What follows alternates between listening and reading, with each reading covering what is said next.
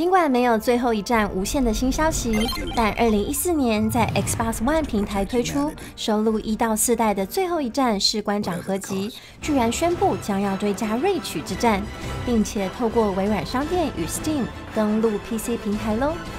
为了确保玩家们的体验，最后一站士官长合集将依照故事时间轴依序推出各代作品。你准备好跟着士官长在 PC 平台上大杀四方了吗？